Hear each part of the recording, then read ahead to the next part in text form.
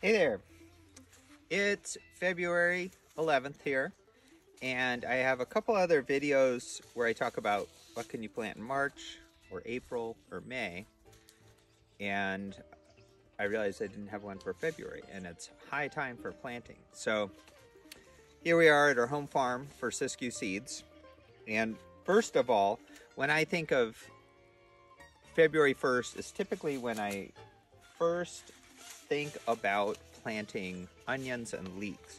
So with that said, um, that th makes me think of the other root crops. So I'm planting onions. Uh, I'm also planting leeks. You know, so they're grown very similarly.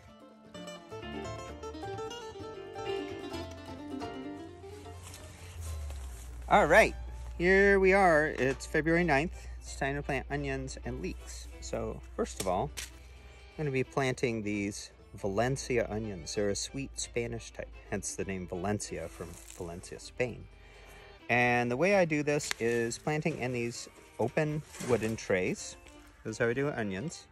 Uh, they're just made out of scrap wood, little gaps in the slats underneath them. And my potting soil recipe is available in a different video.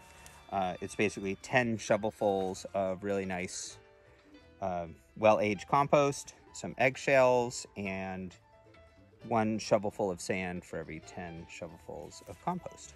So uh, I have a label that I've made. I just get these popsicle sticks like that. And then I'll use just a piece of wood like this, or you can use your finger like this and just make little furrows. This is, I've been doing onions this way for about 25 years. Works well for leeks too. And it grows really nice transplants. So,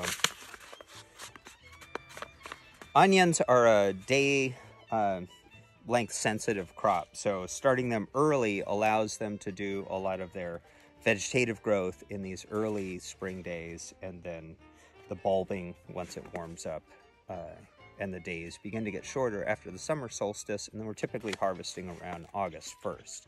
Depending on your latitude, you might do it slightly different. There's some onions that you can overwinter if you're in a warmer area.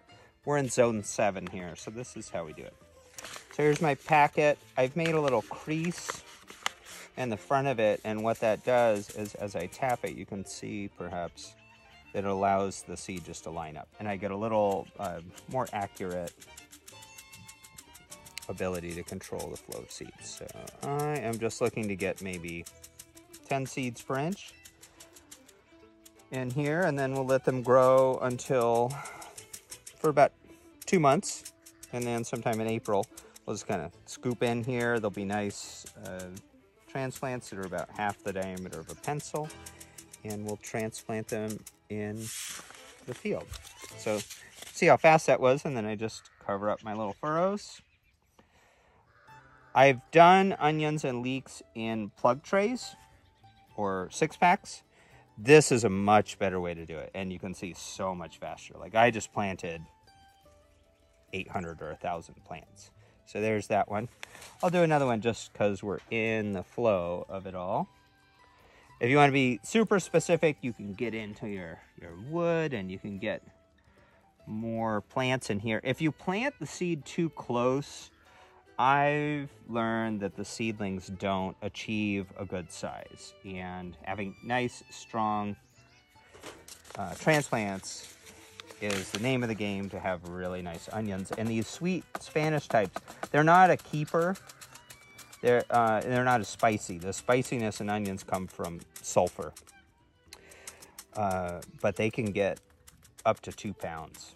Nice big size. So in terms of using in the summer and fall, they're great. But they're not going to store much past December or January.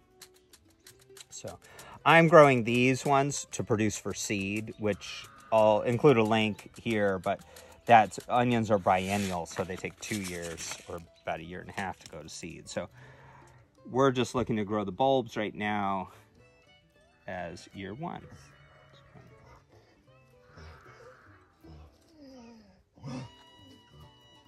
And it feels so nice to be out here in the sun.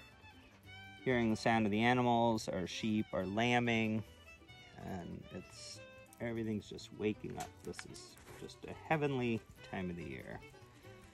So, got two flats of onions. Still got to label that one, but that's it. I'm also planting radishes. I would not plant those in the greenhouse. I would direct seed those, but also beets and carrots. So most of our root vegetables will direct seed right in the ground, uh, whereas other ones will grow as starts, like the onions and leeks. A really big category of early planted crops that's cold uh, tolerant is the brassicas. So that describes a plant family. And in that we have arugula, broccoli. So I'm gonna grow all these as starts in the greenhouse. Cabbage, and then later transplant them out. Cauliflower, collards, kale,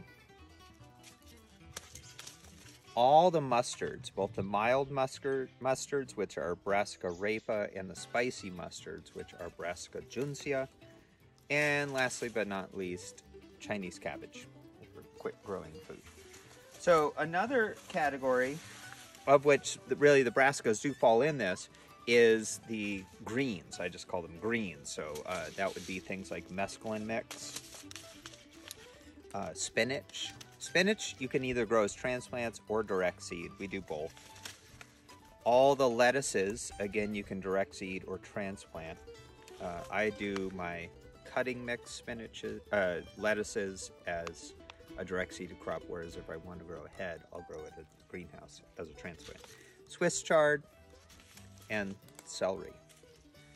So another uh, category that you can plant right now is all of these fruiting vegetables like peas and fava beans. So here I have sugar and snap peas. We typically direct seed these. You can grow them as starts, but they're good to transplant. Um, chickpeas, even though some people call them garbanzo beans, they're better grown if you think of them as peas. Plant them now. They like the cool weather. And then fava beans is another one while we may call them a bean, they thrive in the cooler weather of spring. And then there's kind of uh, a number of herbs and other things that we could be planting right now. And so I'll just run through a couple of the notables. Cilantro, it grows a start or a transplant. Chives are perennial, but you could get them started now for establishing a nice bed of chives for yourself. Dill, uh, another very cold tolerant. Poppies, you can direct seed these or transplant them. Uh, when I grow them as a transplant, I grow them in these uh, soil blocks, and that helps me transplant.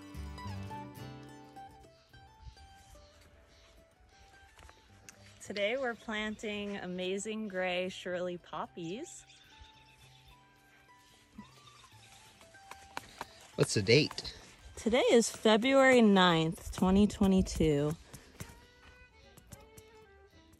So poppies are something you can start in February in your greenhouse.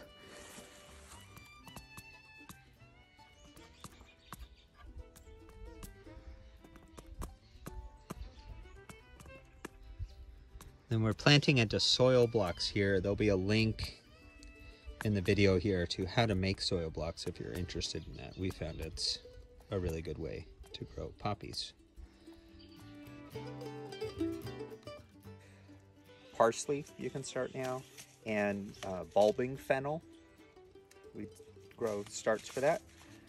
And last, calendula as an early flower that we can get going right now. So that just kind of gives you an idea of the cool loving crops that we could be doing in February.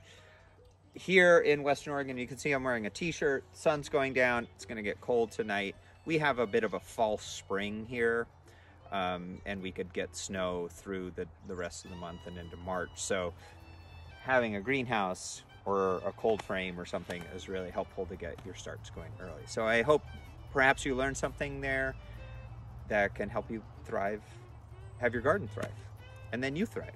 Cool. Thanks.